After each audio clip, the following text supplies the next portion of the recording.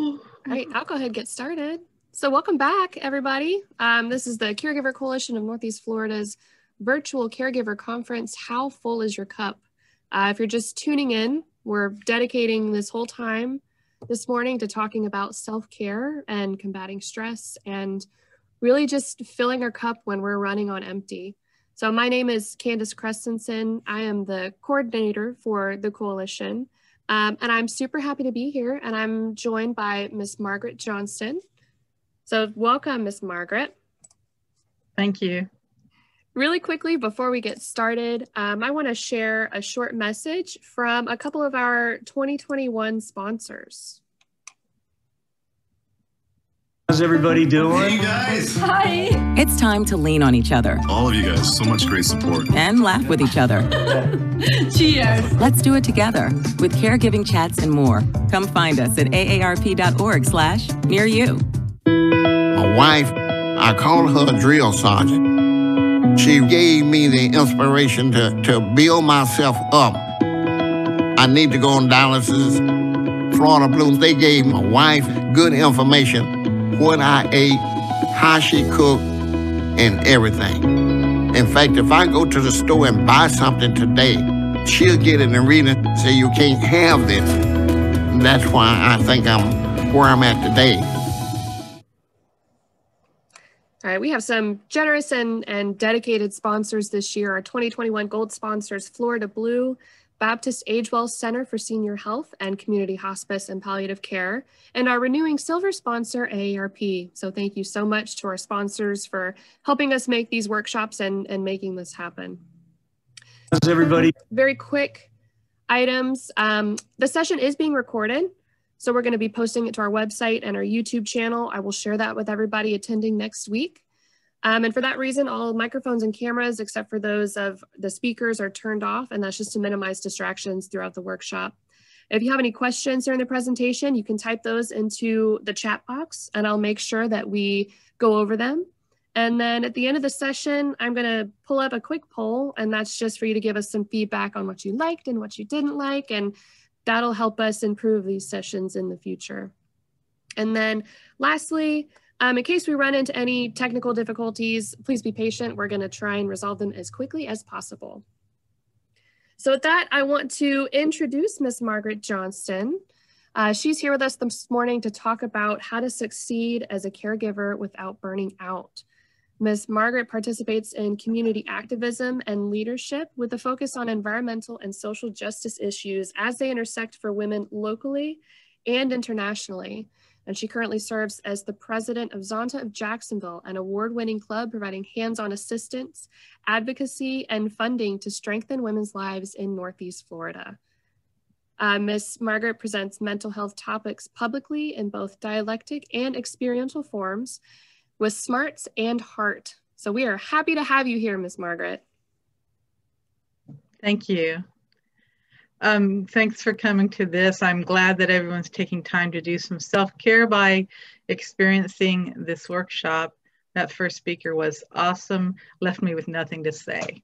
No, really. Um, what we're going to do this morning with me is we're going to talk about establishing boundaries for ourselves, strength from humbleness, and sustainable self-healing.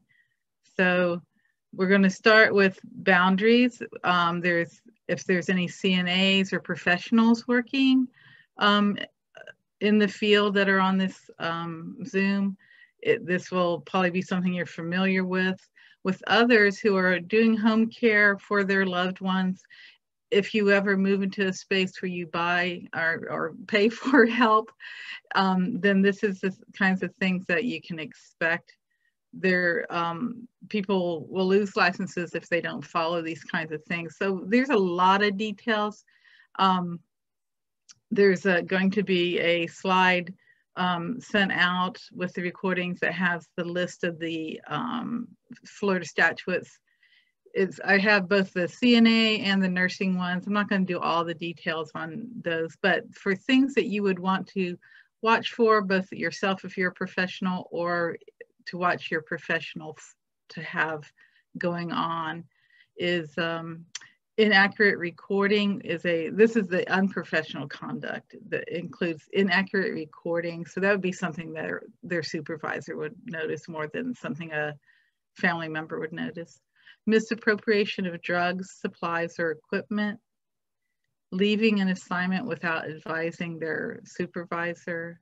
Stealing from a patient violating the integrity of a medication administration system or technology system, information technology system, falsifying or altering a patient record or progress notes, violating confidentiality of information or knowledge concerning a client or a patient, discriminating in any manner protected by law, engaging in fraud, misrepresentation, deceit, impersonating another licensed practitioner by level of licensure, um, providing correct or false information to the employer, practicing beyond the scope of the license. So uh, CNA has to have special training to administer medicine or the nurses have to be the ones who administer medicine. Of course, hospitals and so forth um, teach family members how to do certain things. Um, but just be aware of what your CNA can do as opposed to what a nurse would have to come in and do. And your um, professionals, your doctor and so forth would be able to help you know what's, who can do what with the specialized care for your loved one. Um, using any force against a patient, striking a patient, throwing objects at a patient. All these are things that are horrible and wouldn't we wouldn't want to have happen, but apparently they do occasionally to have to be named. Any kind of abuse or threatening or foul language in front of a patient or directed at the patient. Accepting a gift from the patient is not allowed and um, knowingly obtaining or using or attempting to obtain the use of a patient's property or money temporarily or permanently deprive a patient of the use. So um, those are all things you want to make sure are not happening in any relationship with professionals um, in the caregiving arena. Also, the one that we don't want to have to talk about, but also has to be talked about, is any kind of sexual misconduct. The, the patients are always vulnerable and that requires everyone to be watchful make sure that the patient knows that they can self-advocate at any moment with you the family member about anything any of the above kinds of things that might be going on that they're aware of. It's not ever um, complaining. So why is this part of self-care? It is because boundaries set limits and provide structure and thereby prevent harm to the patients. It prevents harm to the professional and it pre prevents harm to the family. And all of that is a self-care attitude.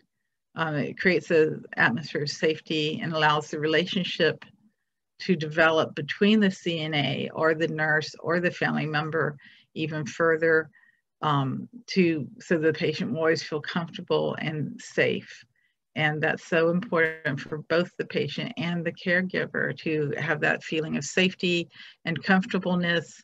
Uh, but not, you know, the boundary thing is not too comfortable, right? We don't want to um, do so much for the patient that they feel helpless because we want to always make sure that the patient um, has um, has been given the space to do the things that they can do and to not take away from that. Um, it's kind of, to me, it's always about not stealing their agency. Um, if they can put their own shoes on, then let them, even if it takes 10 minutes instead of three. Um, don't, don't, you know, do things that would stop them from being able to practice their um, own agency over their life. Um, the the boundaries again they're they're it's like the crucible in which we uh, the caregiving exists and they set up an atmosphere for the mutual respect and the therapeutic purpose of the caregiving. And even though um, there's a lot of us here being family members that take care of our own family it's still important to keep the boundaries and um, not to formalize the relationship necessarily but to keep the boundaries and know that we stop at the edge of our skin. And when we're a hands-on caregiver, we have to be so aware of um, making sure that person feels safe and has their own integrity going on all the time. So um, it, it, this helps bring equilibrium and equality into the into the relationship. It creates mutual respect and that's always a self-care sort of thing because what, as you respect them and they respect you it feels so much better. So um, some of the examples of safeguarding our mental and emotional equilibrium are not servicing a client when we're ill, to not bring them anything. I think this last year really brought that to the forefront.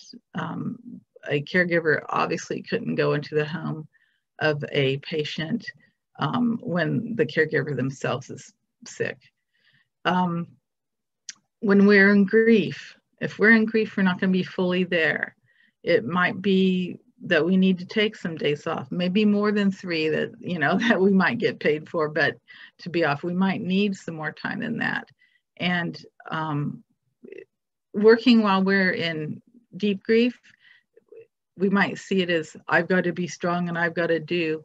Hopefully you have some financial leeway to take enough time so that you can be present for the patient protects both you and the patient to be able to pay attention and not be so over involved in yourself in a moment.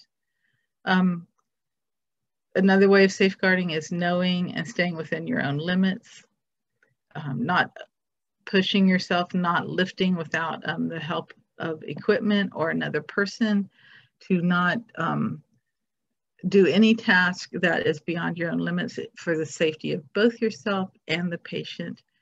Um, sticking to time schedules, um, especially if you're a professional, arriving on time, but also leaving on time. Um, obviously, sometimes you're waiting for the next shift to come in, depending on the care level that that person is under. They might be 24 hours a day. Somebody may have been caught in traffic. This is Jacksonville, right? And um, so watching your time and making sure that the other person that relieves you from your shift, you know, understands boundaries and doesn't take advantage of you being the nice person that stays. That's that's not okay either.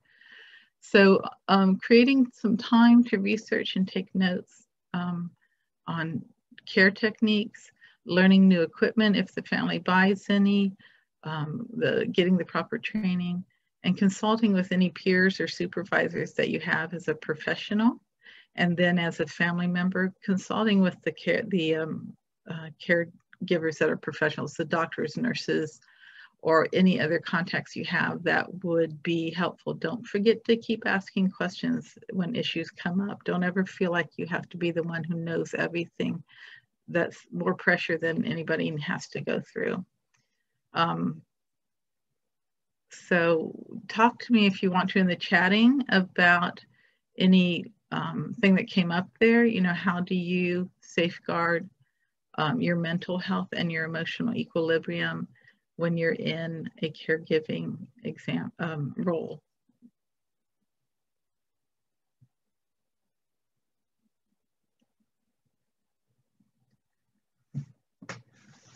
This type when you want to. I'm going to go on with the presentation just so, but you can react to this in any time during in the chat. Um, we would also like to think about internal um, pressures on boundaries. Sometimes we uh, feel like we need to help whoever asks for help in any way that they need it done. And sometimes it's not really the right thing for either you or them.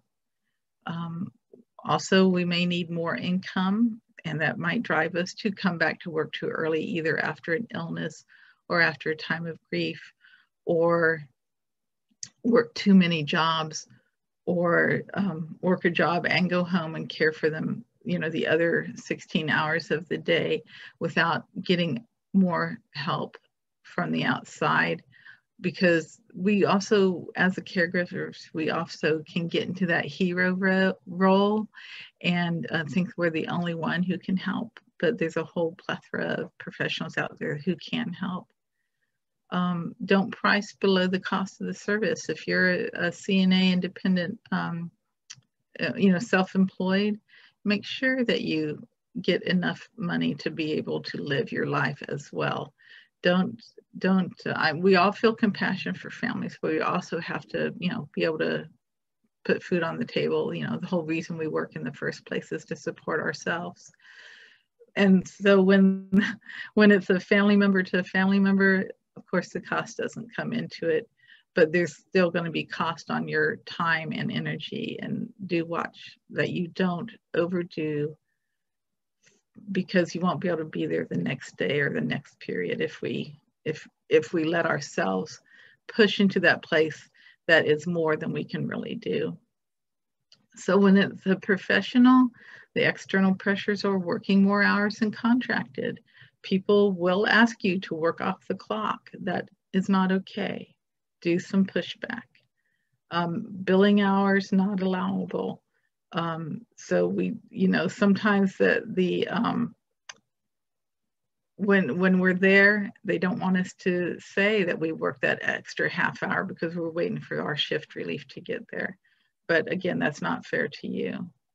Um, there's unethical organizational administrative pressure at times.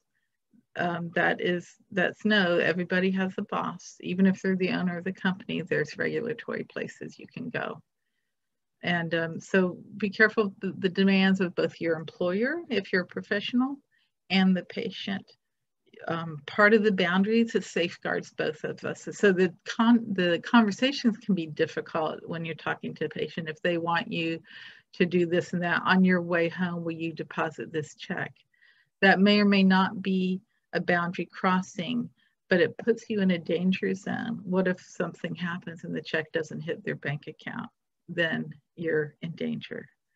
So always be careful when you're professional. Um, if there is no alternative, then it maybe something needs to be written down or talk to your supervisor about what you can or can't do for this person in that way. Um, so what happens when the boundaries have slipped? What if we get in a habit of doing something when uh, that we probably shouldn't have gotten to? Um, so habits of doing as least as possible for, um, form, you know, like it, we might, um, we're supposed to do these 10 steps for a procedure, but that one part just doesn't really seem important. And so we do one less step.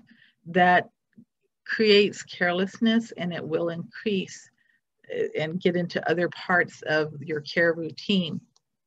So we have to remember to be precise in uh, covering all the steps of doing something like moving a person on a Hoyer or whatever, the, the bathing steps, making sure all of that body gets cleaned um, so that we don't move into a space where on those days that we're tired that we don't take care of that person completely. Um, have a trusted supervisor if you can, uh, or a counselor off-site um, who will respect you and will call you out on any behavior that you are moving into that's not good for you. So not call out in a bad, ugly way, but of course to help you manage yourself so that you can stay as professional as possible.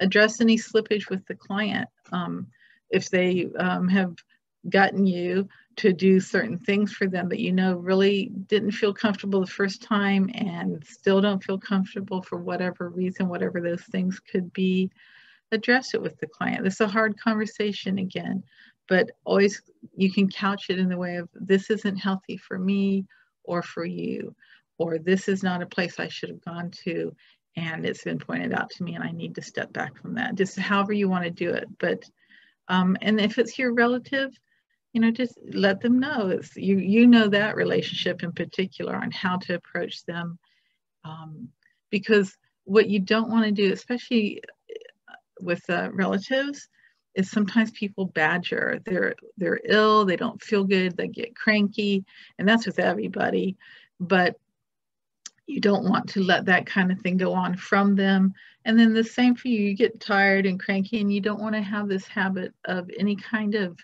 um, any kind of attitude coming out of you or tone that will make them feel bad about getting care from you.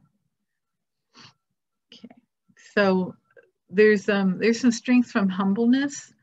Um, helping professionals can induce um, a, a, savior or a martyr complex. It's really hard when you're the only one in the family who's caring for the relative and there's all these other people available, but they won't pick up the slack.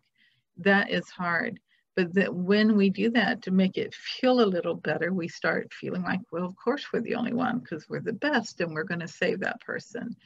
Um, so to avoid that, remind yourself and the client or the relative who the expert is on the client, their needs and their desires. Okay, so the expert always is the client or the or the relative about their own needs and express it verbally. Make sure you let them know you know what's best here or you know what you want to eat today. And when they might choose something that's not good for themselves, remind them, okay, you always have choices, but it's A and B, it's not A through Z, you know. So make sure that they know they have agency, but perhaps in a limited setting. Um, remind yourself and the client that the client is neither helpless nor competent without you. They lived their life, or they might be a child, but they're still learning, and that they can do things. Uh, remind yourself that you're replaceable when it's a family member and unpaid, maybe you're not replaceable to that extent. But if something happened, somebody would come and take care of that relative. So in the in that sense, everyone is replaceable. And remind yourself it's not your job to assist the client into not needing. It is your job to assist the client into not needing you if that's possible for that particular client. So when someone's doing a recovery but needs um, care as they move through their physical therapy or occupational therapy period. But until they get to that place of competency, um, they need help. Just remember that that they need to um, you need to lose them as a client eventually. So you help support them. Um, if they're totally incapacitated, one of the comments over here, then of course um, you you're going to follow the protocols with that patient. If you know they don't have as much agency, obviously, if they're able to listen and communicate, then give them as many choices as possible. When do you want your bath? When do you want to eat? Those kinds of things. Um, with dementia, that's a whole different um, um ball game, and always rely on any professionals you can and resources you can to help you through that because dementia is so different for each person depending on what part of the brain is affected by the dementia itself. And there's research out there, and obviously you're busy, but if you have time to get with anyone about that, I'm not an expert on that, but I know there's it's huge as far as both in numbers and in possibilities and and so that's something you, that's a self-care thing to find out what you can about how do you take care of people with that. Um, remind yourself that you're doing that doing for someone what they can do for themselves is a form of stealing their agency. Uh, so this altered mindset allows you freedom to not be responsible for the other person's circumstance decisions outcomes or life. And it sets you free and it sets them free to control what they can about themselves. So when it's the real tough cases of total incapacitation, you know, in what manner is it? Is that mind inca incapacitation or is it body? Um, when it's dementia, it's mind, but it's not body. And so they still have the freedom to move and be as much as they can in their own lives. So one of the biggest self-care things to, to remember is to release yourself from the fragility of perfectionism. Um, perfectionism is the compulsive need to achieve and accomplish one's goals with no allowance for falling short of one's goals. And that means also goals for the patient. They may not be up to that five minute walk today or that half hour walk, whatever is their level is. Um, they may not be ready to do whatever the task is but it doesn't have to happen in that five minutes if they don't want it to. And for yourself, the bed does not have to be, you know, have a coin flip bounce if you drop it on it. Um, make sure everything good enough is good enough. If it wasn't, we wouldn't say good enough. That doesn't mean get sloppy. That's not a, a habit you want to get into. but nothing has to be perfect. Okay, so find support with other professionals. Um, avoid any professional bullies that you might run into that, that happens in the workplace as far as supervisors and even co-workers or be careful about this the boards out there for the CNAs or other caregivers because people will as on any social media beat each other up verbally we you don't need that. You don't have time for that. That's not a self-care thing to indulge in listening to others put each other down. Excuse me. Okay so um the one of the things that really helps us with self-care is to jump out of self-created echo chambers. Don't always use yourself as your own reference. Again connect with others who either do this or um, or other family members that are whether they're physically they're helping make sure you connect with them and bounce ideas off of them if they're available. And then the paid people the cnas and nurses um, make sure that you connect with the family members of the of the person you're caring for and be sure that what you're doing and what the uh, patient has um, indicated they want done it's going to work with for everybody and that's kind of hard to do because always everybody has their own opinion keeping in mind that the opinion of the person being cared for is the priority if at all possible. Uh, I know with dementia patients that can be wrong, but um, when it's okay, you know, just let them let them be the one that's in charge always. uh, it's going to really save your um, friendships and your partnerships or marriages if you do not bring this home every day. And so, how do you not take how do you take care of yourself and carry all of this burden that is in you if you're a cna and you're on a two hour frequency and that's what is that like maybe three to four people a day depending on how long your shift day is um, to carry that every day with you and not speak to anyone that's not going to work. We all have the story we need to tell and so forth. But if we go home and every day we review our whole day with our partner or we um, every time our friends call we tell them all about the stuff that went on that day or the last week and all the negativity then we're going to burn them out because also that becomes our only conversation and we don't have time to get away from it because that's all we're thinking about verbalizing so what is very helpful is if you have the means is to get a counselor or someone who can be your sounding board and um, that that is sometimes a paid relationship, sometimes not. It all depends on what you and the other person want to arrange or can arrange. So in that professional relationship, you never, um, you're not there to dazzle them with how good you are or to elicit a pity party. What you're there for is to get feedback and for you to take time to find your own way and to know that you have the wisdom to find your own way and they can give guided questions. And it, like I said, it saves you from having to do that with non-professionals and um, saves us relationships. Um, so there's, um, there's a poem that helps us know if we're doing the right thing in our lives, which obviously is self-care when we are. And I want to read that to you. It's called The Seat of the Soul by Gary Zukav. When the deepest part of you becomes engaged in what you are doing, when your activities and actions become gratifying and purposeful, when you do, when what you do serves both yourself and others, when you do not tire within but seek the sweet satisfaction of your life and of your work, you are doing what you are meant to do.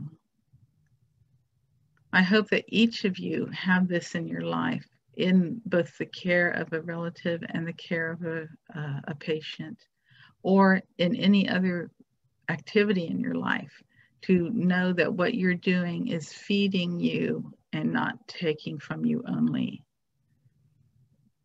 So um, there are um, some strategies for self-care um, on the, I think on this same slide.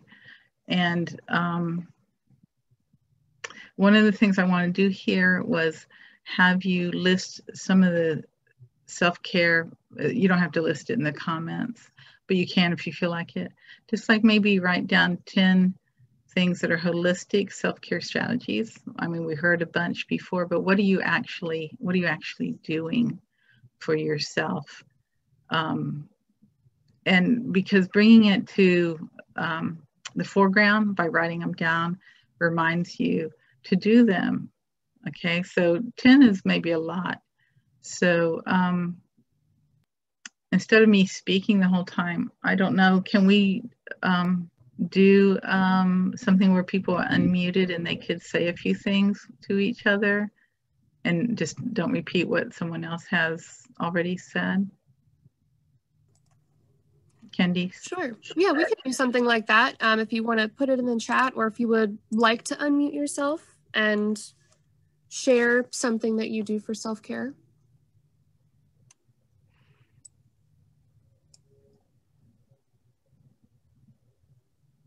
Good morning. I'm Tangela Brown. Hey, Tangela. Hi, Tangela. Hi. And one of the things that I do for self care is journaling and I exercise. But I find journaling helps me out a great deal because I'm able to write down my thoughts, write down my goals, and then always write something positive and some affirmations. So, like down the road, a couple of weeks later on, I'll go back and I'll look and I'll look and I'll say, Ooh, look how far you've come. So, it's a way of showing gratitude for the day and also just showing just how resilient I am from that day that I wrote from two weeks and looking back and saying, I made it through that. So that's my way of self caring. And definitely exercise is very good for me. Thank you. Thank you. Yes, exercise. Um, even though we come home tired, if we take a minute and then go do some kind of exercise, um, it will, it tends to re energize us, even though we're already tired. It kind of lifts the tired that we came in with and moves us into a different place. Um, releases a lot of uh, brain chemicals that are good for us. And then, of course, that journaling. Thank you for sharing that. And um, especially if you um, aren't in a position to buy a counselor, right? Writing down those negative things that happened and then letting them go, perhaps looking at them intentionally and saying, I'm letting you go. I wasn't, I made a mistake there, but I am okay and the patient is okay. And um, now I know not to move in that way or do that action or something.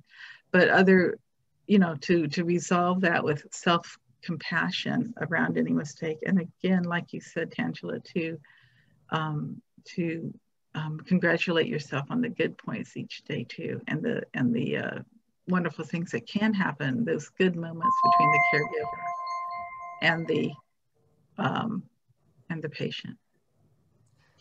Margaret, we have um, some other ideas here in the chat, and I'd like to quickly go off of that journaling. You know, something that I do um, as a form of self care is I schedule a little bit of time out every day for what I call a free write.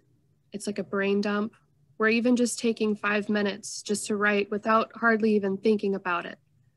Just write everything that's on my mind in that moment you know whether it's something i went through that day or something bothering me from weeks ago you know to get it all off of my brain and write it down and then you're able to look back and see if there are any patterns or if you know you know how best to really take care of yourself and how you're handling different moments so that's something i do we have some good suggestions in the chat too with working in the yard and, and caring for pets, you know, walking the dog and going for a walk in the neighborhood while listening to music or listening to an audiobook. So taking that time to yourself to take care of your body too.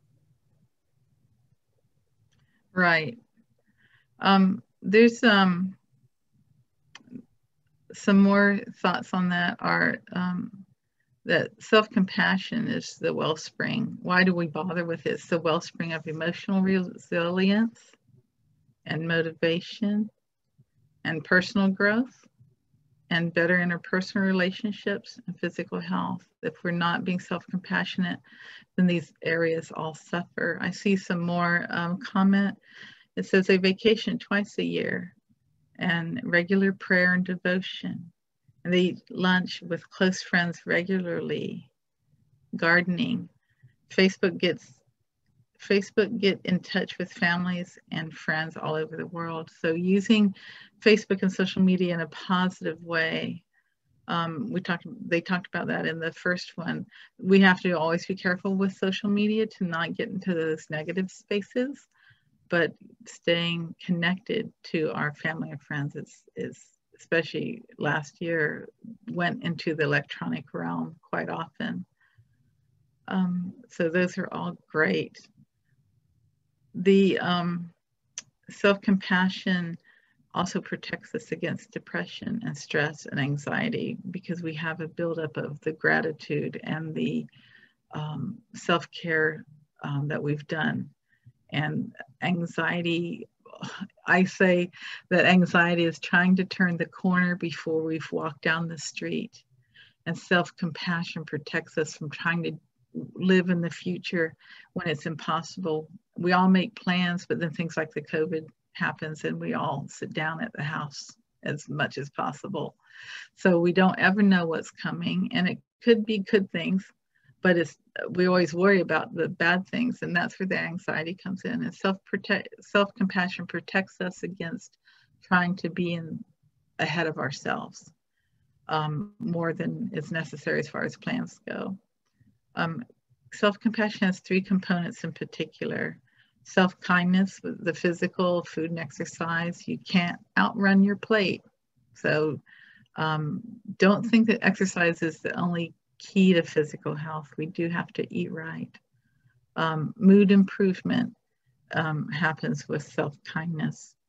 Um, sustained movement for um, six weeks will give you endorphin dopamine and serotonin relief into your brain. Um, it, it exercises the channels for those chemicals to flood your brain in the proper way.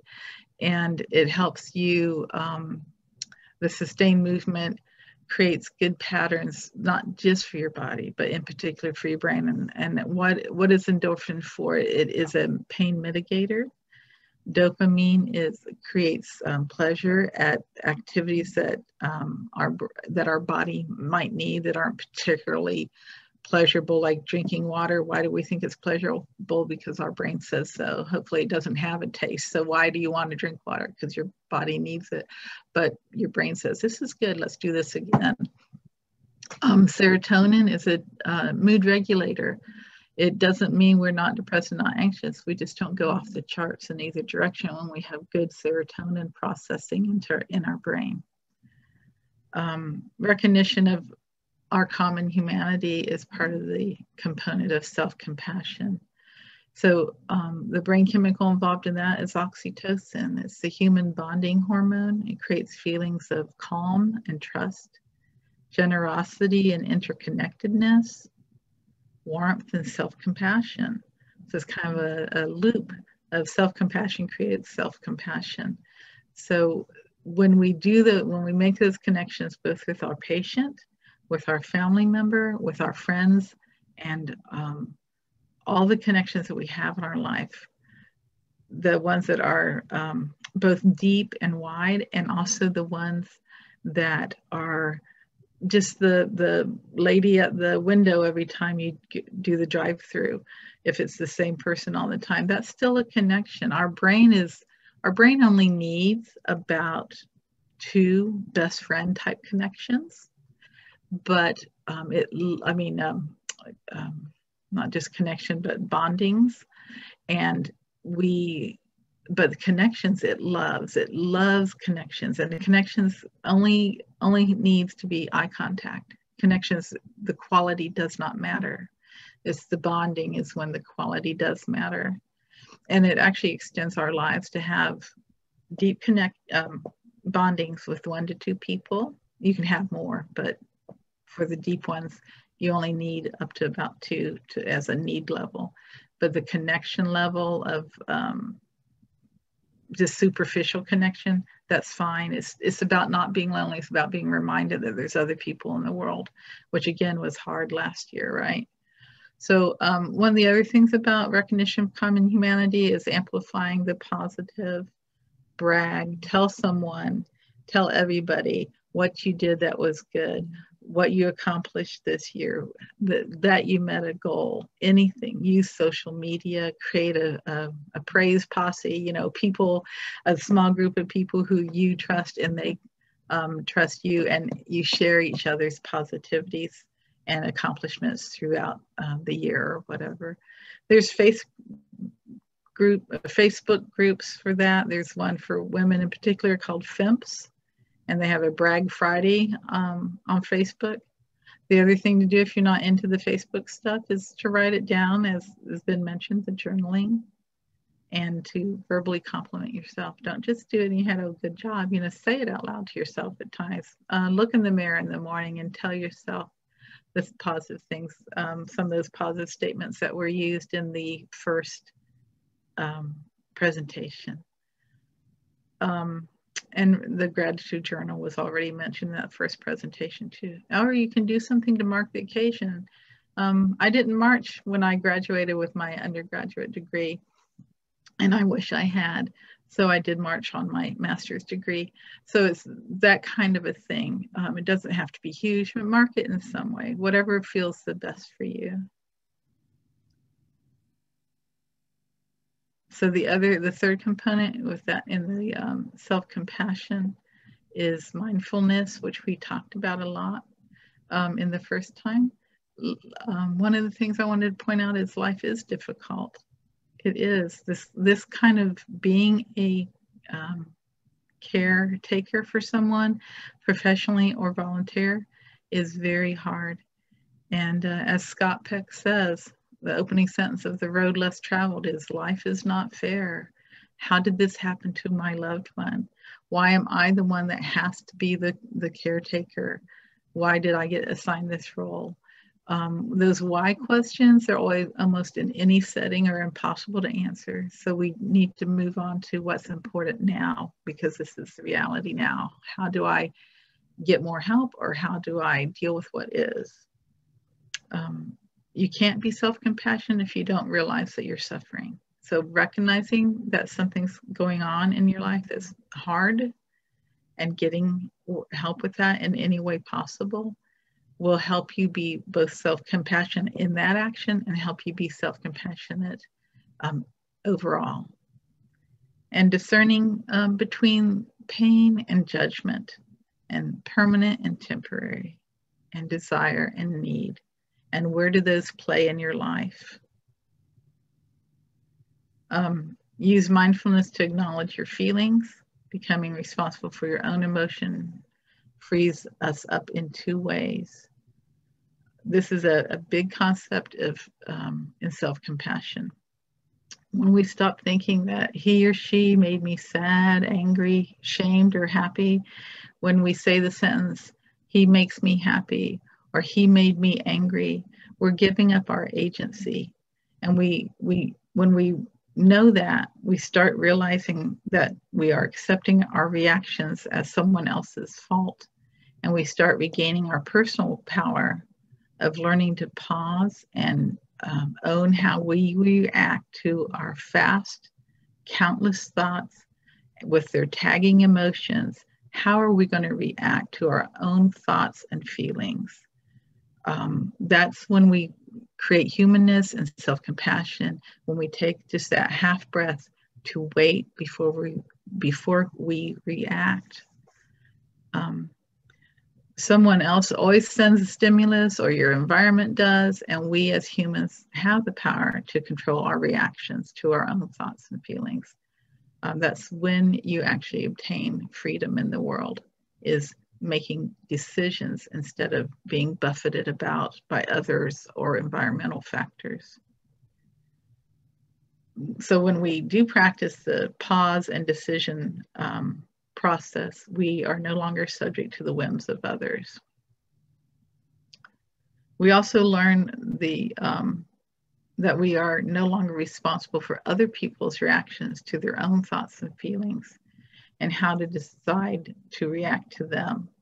So when when other people you do your benign work of whatever, but they're having a bad day or they have extra pain and they yell or whatever happens or they get fussy, remember that they're responsible for their feelings of happiness or sadness or irritation the same as you are and it one it takes it takes a huge load off of you that you're not being paid to make them happy. You are being paid to take care of them. Or when it is your family member that you are responsible to take care of them but they are responsible for their feelings. I know with dementia patients that's going to be really difficult um, but you still have to take that step back. Um, so not being responsible for others doesn't mean to be any kind of mean to them because people will react and there will be consequences. So always be as ethical in your emotional responses as you can be. So um, I think it got brought up a little early, the um, self-care inventory. So that blue sheet there, that's some um, ideas on some self-care that um, that you may or may not have thought of already or had the, the time or the means to do. But I'd like you to look it over and think about which ideas appeal to you and um, or which ones you've already planned in your life and then which ones um, you think you might want to try to incorporate. So when we have lists like that, I want you to be cautious. I don't want you to be overwhelmed by the shoulds you know don't shame yourself that you don't already journal and exercise and meditate and all these things that um, are good for you. But there are still only 24 hours in a day no matter what um, we say would be good for you to do. It can only be good for you if you have the time and energy to do it. So alternately don't go all type a personality on yourself and plan to tick off every single one of them and and within some kind of really short time frame that's that's not self-care either. So um, both of those paths of shoulds and regrets and also pushing yourself leads to self-violence and that is the opposite of self-care. So both in action and in word like this, this there's self-violence and putting yourself down uh, when things aren't perfect and don't turn out exactly as you planned. And also um, just the not self-care that that kind of um, the, the the negative space of not taking care of yourself is also self-violence. But you have to create balance in your own life about yourself both as a professional. Take those days off then you're allowed to or can afford to. Make sure as a family volunteer that you reach out for respite care and that there's there are resources um, in communities for people to be able to take some days off when needed and take them and take care of yourself so that you can come back when you come back and fully be there. So I'd like to thank you for this time together.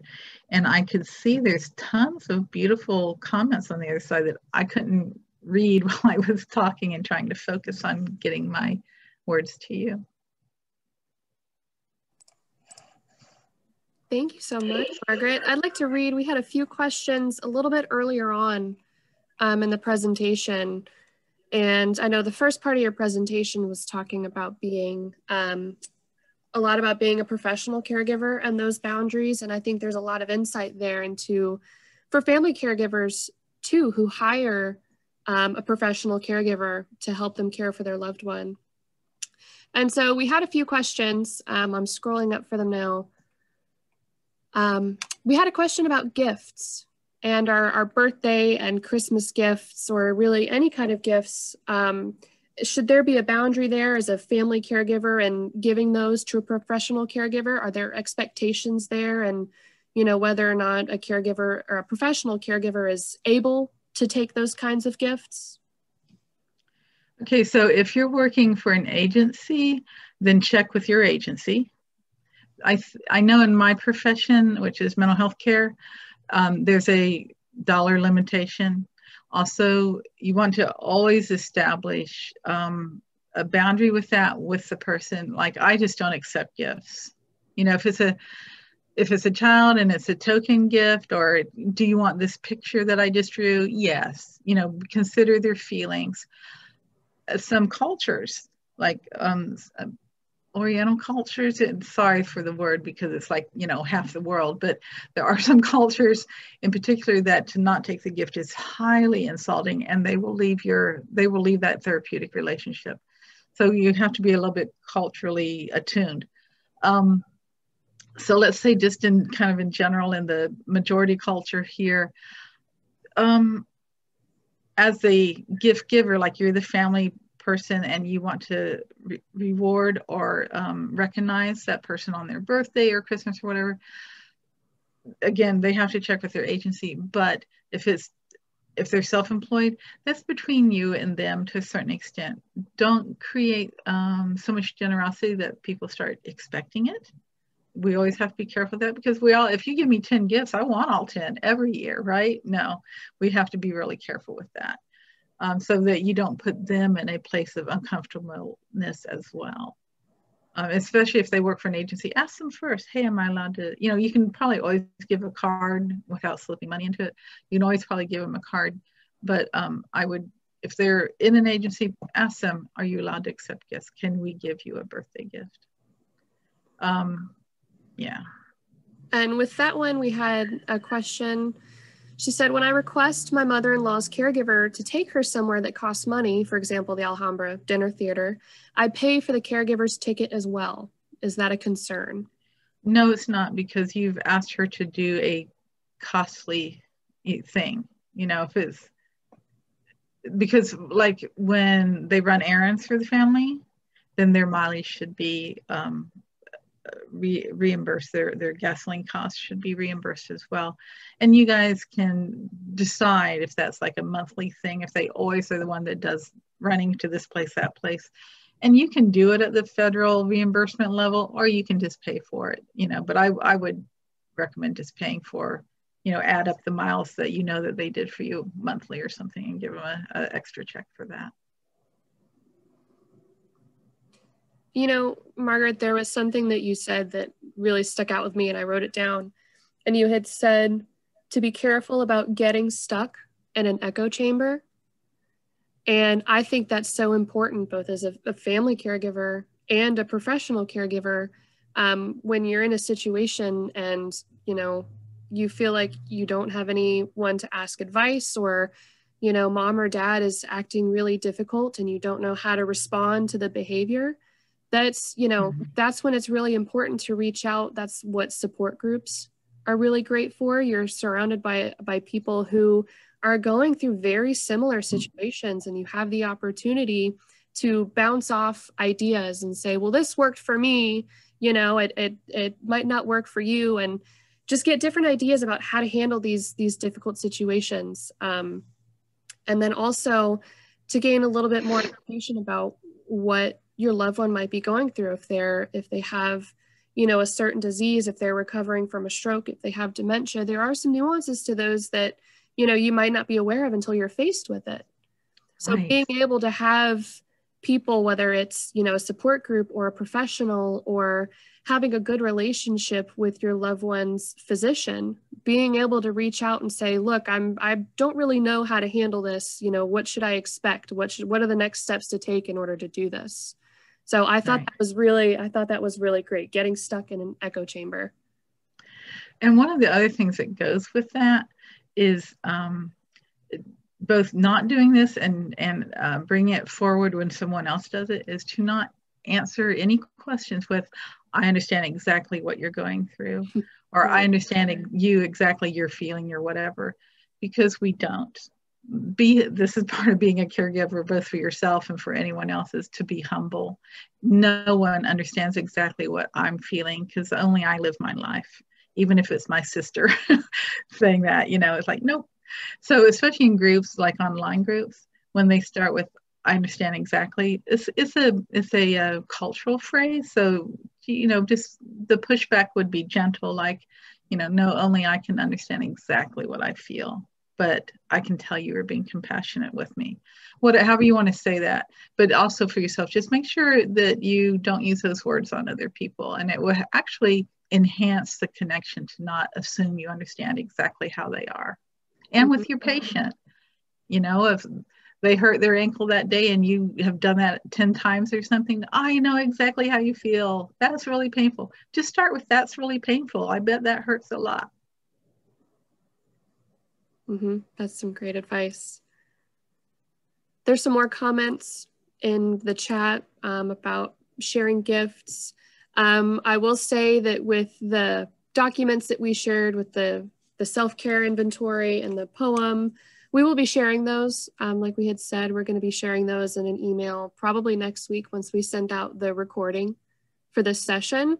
So you'll be you'll be able to have those on hand with you. And Margaret, there um, are questions about um, everything that you've been sharing. Do you have this information anywhere? Do you have a book? Do you have a, a blog? You know, where can where can those with us today um, learn more from you? That is so sweet. Um, wow. I don't, I mean, what I could do, so you have my references, is I could go ahead and give permission to share this, the, the scripting that I had written for myself so that I didn't lose my place too much or too often. Um, so I could do that. Within it are my references. Um, so that could help and you could find where I kind of found this information. Um, but I didn't use just one book or something. I wanted to comment on the person who drums. How beautiful. And um, I hope that there, I don't know if you drum solo or if you have a drum circle group. I know there's drum circle groups in Jacksonville if that's where you are, if everybody's from here. There's a wonderful one in Gainesville if you're down in that area. That's the one I actually go to sometimes. Um, but you might be able to find wherever it is that you are, you might be able to find the, a group in your area on the internet. Um, and there are, um, I don't, I'm so enthusiastic about drumming. There are drumming um, videos. And so, and anything can be a drum. Remember your two-year-old, all you'd have to do is break a pan out of the, uh, out of the pan drawer, right? Get a wooden stick and go at it. Um, so there's there, and there's something to be said for that because it can be, um, really energetic and you just get those feelings out physically, especially um, men need to use their body to get their feelings out. So it's interesting that it was um, a guy that wrote that and, um, you know, just beat the heck out of it. Um, yeah. Yeah, I think self expression is a really great form of self care. And that's what our next session is actually about. We're talking about art and writing and you know whether you consider yourself an artist or a writer you know anyone can practice those things and and it's all a matter of how you look at what you're doing and look at it non-judgmentally and just be able to get those feelings and those emotions out whether it's in the drums or whether it's writing on paper or whether it's you know painting a watercolor of a tree you know it's it's all about how you express it and what you're putting into it. So mm-hmm. I thought that was a really beautiful comment. Um, I saw another kind of statement here that they only gave gifts on the last day of their job. And that would be another way to do it if you know there's like, if it's a, a certain period of time. And also just be very aware that the gifts are not expected. You know, as a, when a professional's in the house, they don't expect gifts. Um, sometimes people are um, have the same caregiver for years, and that's when those relationships kind of evolve into they're basically a family member, and and that's fine. That's beautiful.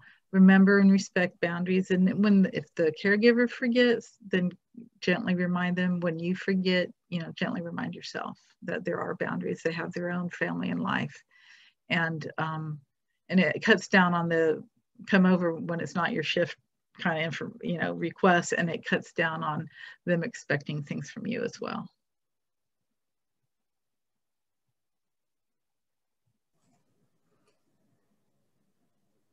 so it's 11:30 I'm sure you have to move on Yeah, no, this has been a really great time, Margaret. I really appreciate you being here and giving us some insight into um, the perspective of a professional caregiver. You know, whether somebody is joining us who is an in home professional caregiver, or, you know, we have family caregivers here who hire caregivers to help care for their loved one and give them some sort of respite. So it's really important to have that perspective and understand, you know, what boundaries you should set. Um, so I really appreciate that. This has been super insightful. Thank you.